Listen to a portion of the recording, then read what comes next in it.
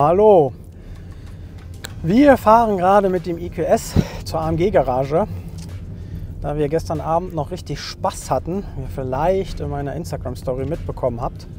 Ähm, das Laden am Hotel an den ChargePoint-Chargern ähm, war leider nicht möglich, weil der IQS wollte einfach nicht äh, laden an den Chargern. Mit dem Support telefoniert, äh, der hat die Säule neu gestartet, hat nicht, äh, nichts gebracht. Dann haben wir habe ich verschiedene Sachen ausprobiert mit einem neuen ähm, mit einem neuen Ladetarif, weil ich vielleicht dachte, es liegt an meinem Account, weil der längere Zeit nicht benutzt war. Ich habe es ja schon immer ein bisschen mit ChargePoint äh, geladen früher, aber jetzt in den letzten jetzt in den letzten Jahren nicht mehr. Naja, nichtsdestotrotz ähm, ja, konnten wir dann gestern nicht mehr laden. War ein bisschen frustriert, ein bisschen sauer, weil das halt doch ziemlich doof ist, wenn man mit 15 Prozent ankommt und nicht mehr die Möglichkeit hat, äh, nachzuladen. Dann habe ich heute Morgen noch mal im Hotel mit denen gesprochen. Da hatte mir der an der Rezeption der gute Mitarbeiter gesagt, dass es an den Supermärkten Charger gibt und äh, die waren sogar kostenlos. Da konnte ich dann ein bisschen nachladen, um mich dann auf die Suche zu machen ähm, zu anderen Chargern. Aber ja, die anderen Charger sind entweder hinter Schranken gewesen oder nicht erreichbar. Ja, dann ist das, was ich verfahren habe oder nachgeladen habe, habe ich dann wieder verfahren. Ähm, aber auf dem Rückweg nach, äh, zum Hotel bin ich dann auch an der AMG-Garage vorbeigekommen und dort hatte ich dann mit jemandem von der AMG Experience sprechen dürfen. Und er hat dann gesagt, ich soll heute Abend mit dem EQS hochkommen. Dann kann ich dort mit meinem Juice Booster mobile Wallbox dann erstmal jetzt drei, vier Stunden vermutlich laden. Und äh, morgen machen wir dann den Rest. Genau. Ja, und jetzt gleich sind wir eigentlich ziemlich gespannt, was uns erwartet. Also wir filmen jetzt gerade mal hier so ein bisschen den Ort mit. Das habe ich heute Morgen oder heute Mittag oder Vormittag nicht gemacht, ähm, weil die Geräte mussten noch geladen werden. Markus hat noch die ganzen Daten runtergezogen, die Videos. Und daher äh, hatte ich da auch heute Morgen nicht so den Nerv zu. Nichtsdestotrotz machen wir das jetzt. Das sieht schon echt ziemlich cool hier aus. Und was halt auch ziemlich krass ist, hier fahren so viele Erlkönige rum in dem Hotel. Habe ich so das Gefühl, ähm, in dem wir sind, kam heute Mittag eine Armada von BMW mit verschiedenen Erlkönigen. Die haben dann da alle zu Mittag gegessen und ja, sind jetzt hier wieder unterwegs. Also das ist schon, was man hier an Autos sieht, schon echt krass. Ja, ich bin mal gespannt, was uns denn jetzt äh, die nächsten ein, ein Viertel Tage erwartet. Morgen sind wir dann den ganzen Tag unterwegs. Ja, und dann lassen wir uns mal überraschen, würde ich sagen. Ich melde mich auf jeden Fall, wenn wir zurückfahren, gibt es noch mal ein kurzes Update.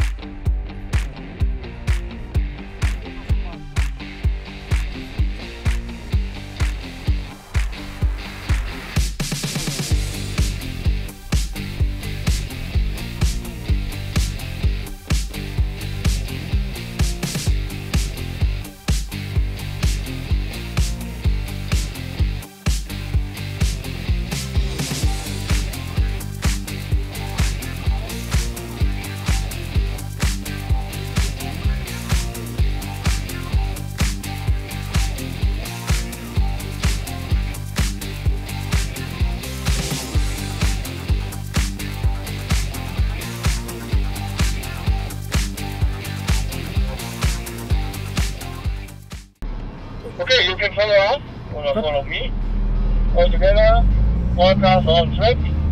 No drifting, it's only for check the track. Okay, ihr könnt mir erstmal folgen. So, where is liquid? Here, yeah. Now we have fresh snow here on the on the lake.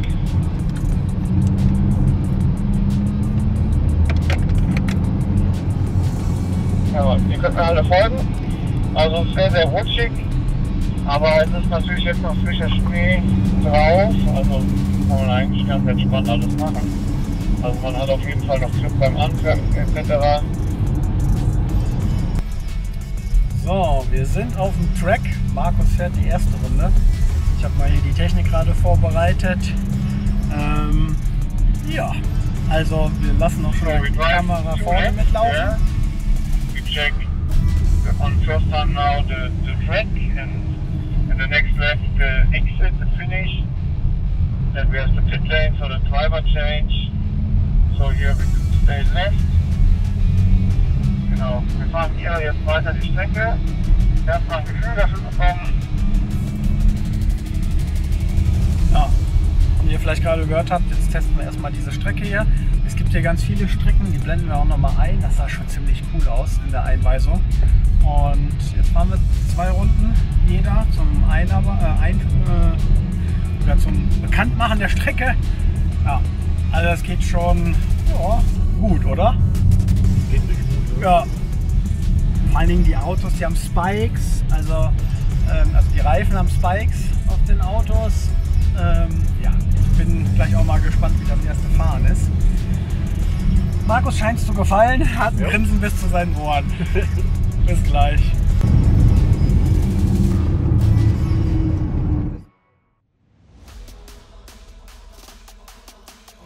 Als letztes Fahrzeug fährst, musst du immer schneller fahren als die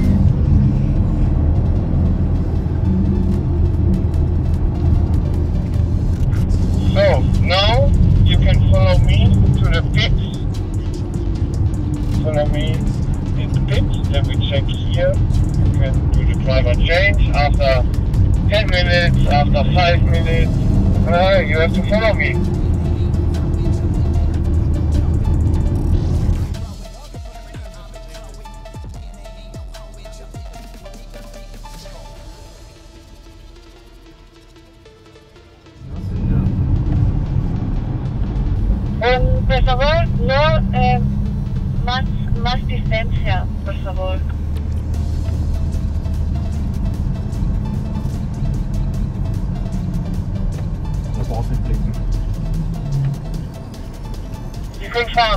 Ich fahre nicht. Was? Können rausfahren. Ach so. Ja, ja, let's go. Okay. Sehr gut.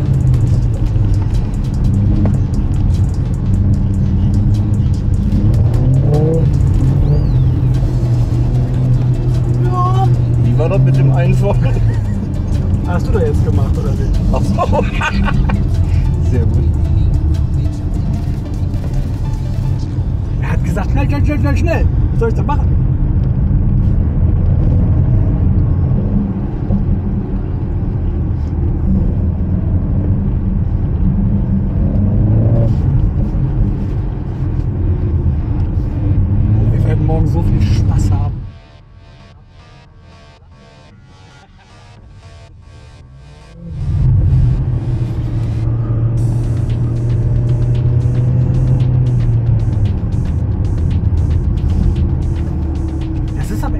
Ne? Manchmal hast du den Grip, Manchmal gar keinen. aber er ist, finde ich, gut beherrschbar. Also Ja. Ja, ja, doch, jetzt das nicht- schon. nicht, dass es jetzt, wenn du es nicht übertreibst.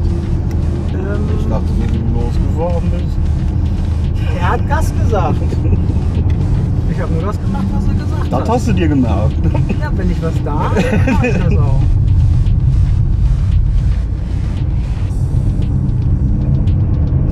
Jetzt fährt unser lieber Manu. Ja, machen wir ein bisschen Licht an, das geht noch so gerade. Also es ist echt. Also das Handling geht echt gut mit der A-Klasse. Man muss ein bisschen schauen. Manchmal rutscht er gar nicht. Und dann haben wir so Momente wie jetzt, da kommt ein bisschen das Heck. Jetzt gerade noch ein bisschen am Schauen. Wir haben ein paar Spanier in der Gruppe, die kein Englisch können. Jetzt dürfen wir erstmal fahren und ein bisschen ausprobieren. Markus ist jetzt gerade vier Runden gefahren. Ich fahre jetzt meine zweite Runde. Es macht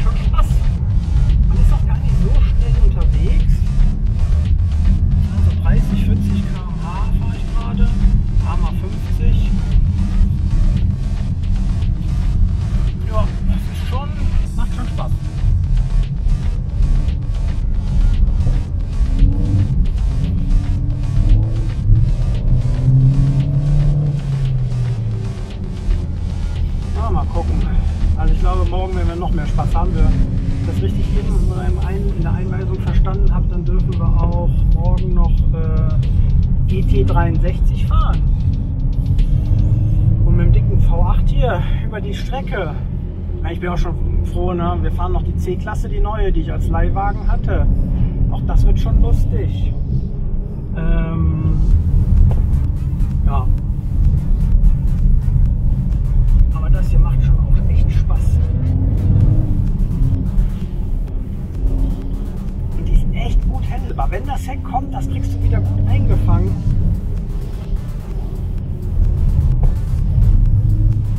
Es ist natürlich jetzt hier in der Dunkelheit noch nicht ganz so einfach. Ja, man muss schon ein bisschen gucken, man sieht halt nicht so viel. Aber es geht, oder?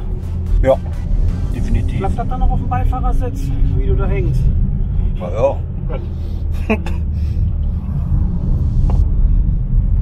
Ich bin auch froh, dass wir jetzt den IGS laden können, dass das auch klappt.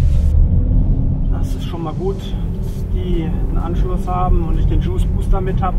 Hat sich der Juice Booster auf jeden Fall gelohnt. Ich entschuldige mich schon mal für das Wackeln, aber das ist echt schwierig, hier die Kamera gerade zu halten. Ja, das verstehe ich. Müssen wir vielleicht die Einstellung noch anpassen. Können wir gleich nochmal gucken.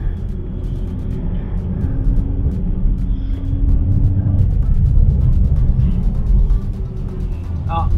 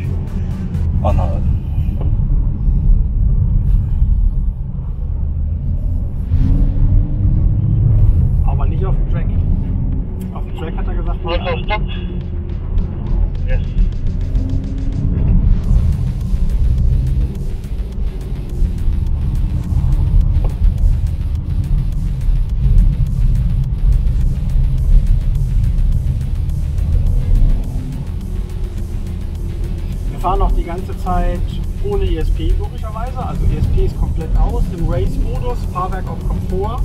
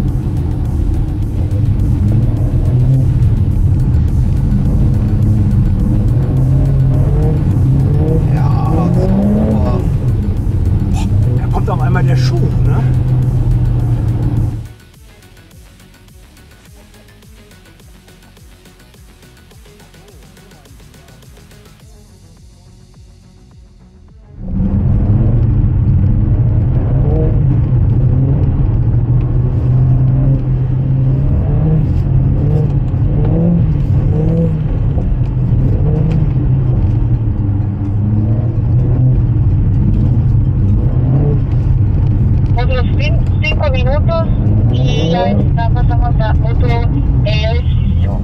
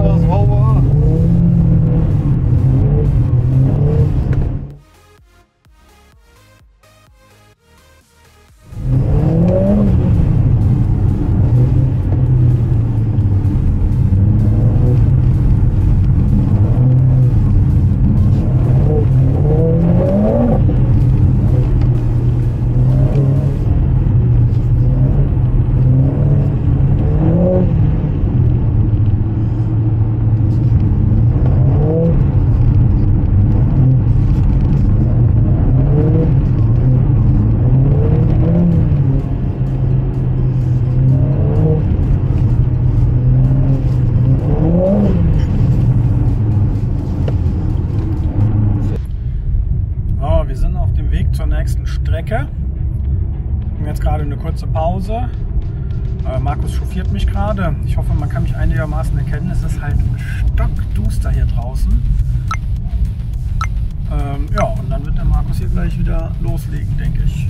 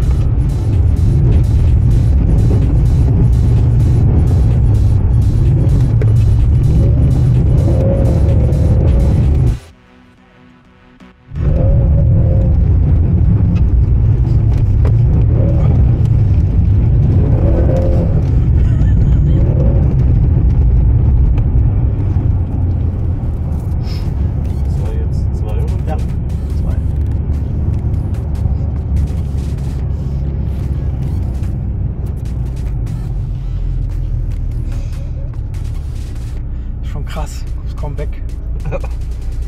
Trotz Bikes. Ich wollte es gerade sagen.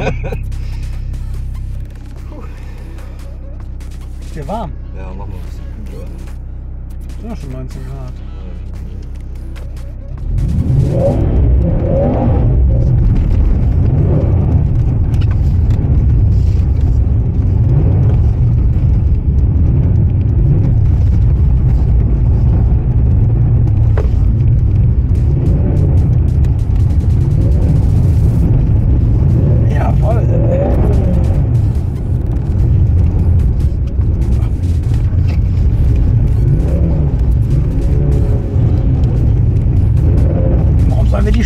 wenn wir den frischen Schnee nehmen können.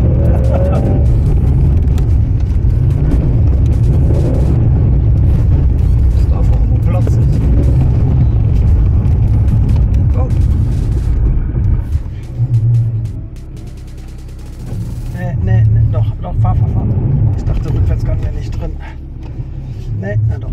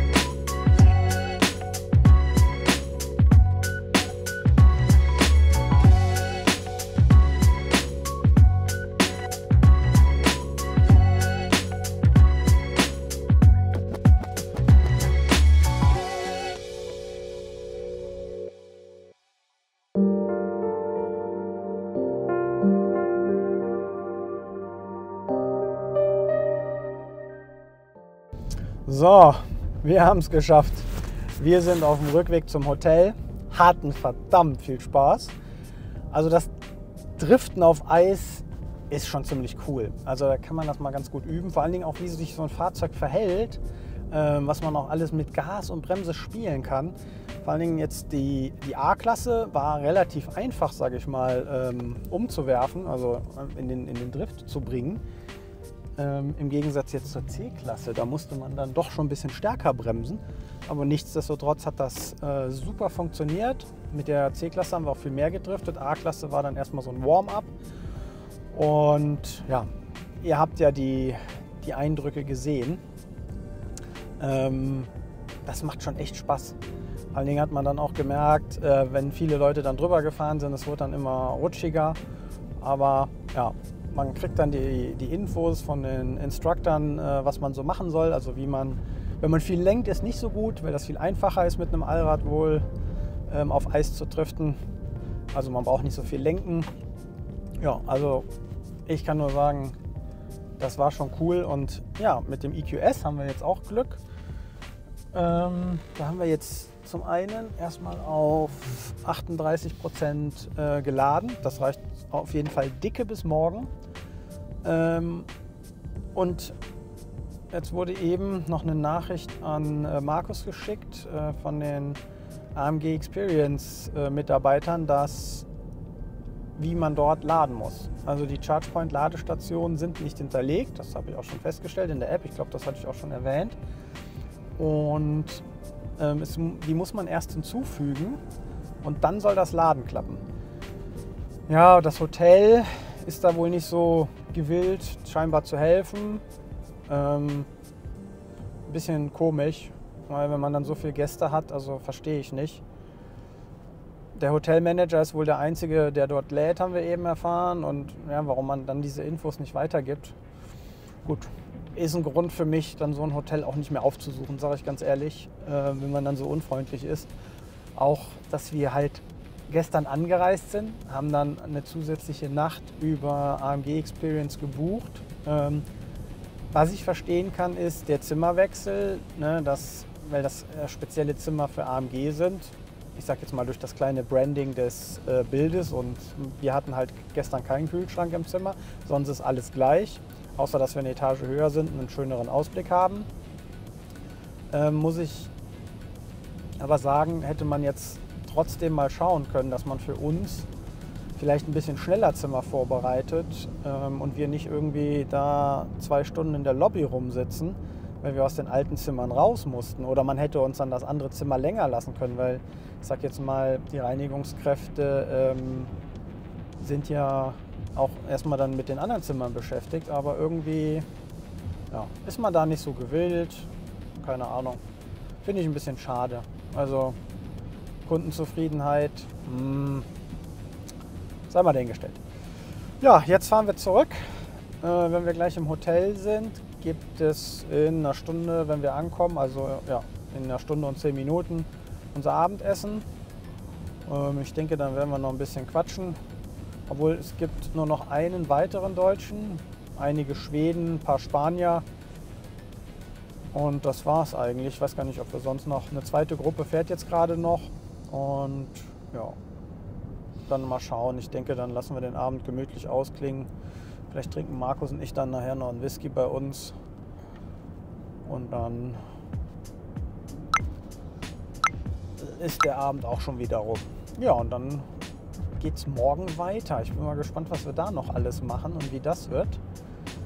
Ähm, das war heute schon echt ziemlich cool. Also, ja, mir ist auch gar nicht so schlecht geworden wie sonst, muss ich sagen.